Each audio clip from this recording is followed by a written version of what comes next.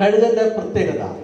കഴുകന്റെ പ്രത്യേകത രണ്ടാമത്തെ പ്രത്യേകത കഴുകൻ ദർശനത്തിൽ ശ്രദ്ധ കേന്ദ്രീകരിക്കുന്നു എന്നുള്ളതാണ്. നമ്മൾ നേരത്തെ പറഞ്ഞ പോലെ തന്നെ അഞ്ച് കിലോമീറ്റർ ദൂരെയുള്ള ഒരു വസ്തുവിനെ ക്ലിയർ ആയിട്ട് കാണുവാൻ കഴുകന് കഴിയും.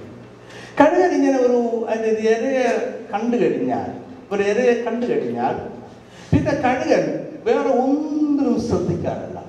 കുറച്ചുകൂടെ സയന്റിഫിക് റീസൺസ് കൊണ്ട് ഞാൻ കയറുന്നില്ല നമ്മൾ അതിലല്ല പഠിക്കുന്നത്.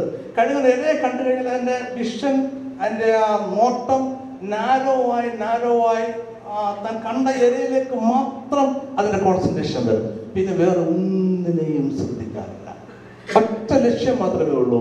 ഇരയെ പിടിക്കുക ഒരു ലക്ഷ്യമുള്ളൂ അഞ്ച് കിലോമീറ്റർ ദൂരം വെച്ച് കാണുന്ന ഇരയായിരിക്കാം പക്ഷെ പിന്നീട് കഴിഞ്ഞതിന് മുന്നിൽ പ്രതികൂലങ്ങളില്ല പ്രതിസന്ധികളില്ല.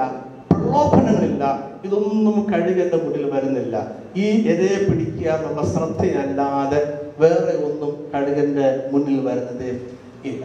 അതുകൊണ്ട് നമ്മൾ ചെയ്യേണ്ടത് എന്താണെന്ന് നോക്കിയാൽ ഞാൻ പറഞ്ഞു നോക്കി ദൈവത്തിൽ നിന്ന് വലിയൊരു ജീവിത ദർശനം പ്രാപിക്കണം. വലിയൊരു വിഷൻ ഒരു വൈഡ് വിഷൻ നമ്മൾ ദൈവത്തിൽ നിന്ന് പ്രാപിച്ചെടുക്കണം.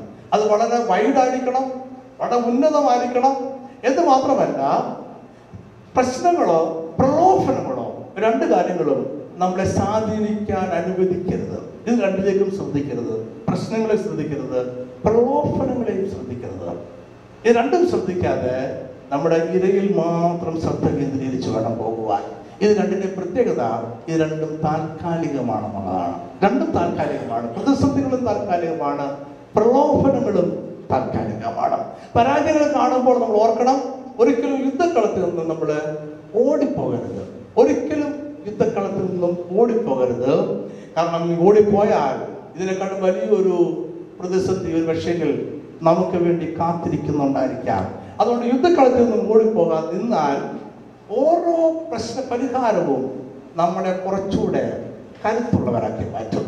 ഓരോ പ്രശ്ന പരിഹാരവും നമുക്ക് കുറച്ചുകൂടെ ബലം തരും കുറച്ചുകൂടെ ധൈര്യം തരും.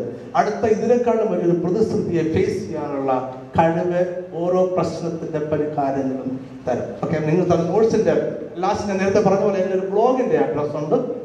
ആ, ബ്ലോഗിൽ നിങ്ങൾ അത് കയറി നോക്കുക. ഞാൻ ഇതിനെപ്പറ്റി അതിനകത്ത് ആ ബ്ലോഗിൽ എഴുതിയിട്ടുണ്ട്. പ്രശ്നങ്ങളിൽ നിന്നും എങ്ങനെയാണ് ഗെയിം ചെയ്യുന്നത് എങ്ങനെയാണ് നേട്ടങ്ങൾ ഉണ്ടാക്കുന്നത് എന്ന് എന്റെ ബ്ലോഗിൽ ഞാൻ എഴുതിയിട്ടുണ്ട്. നിങ്ങൾക്ക് അതിനകത്ത് കയറാൻ ഒരു നൂറ്റി മുപ്പത്തി ഏഴിലധികം ബ്ലോഗുകൾ ഇപ്പോൾ ഓൾറെഡി ബ്ലോഗ് സൈറ്റിലുണ്ട് നിങ്ങൾക്ക്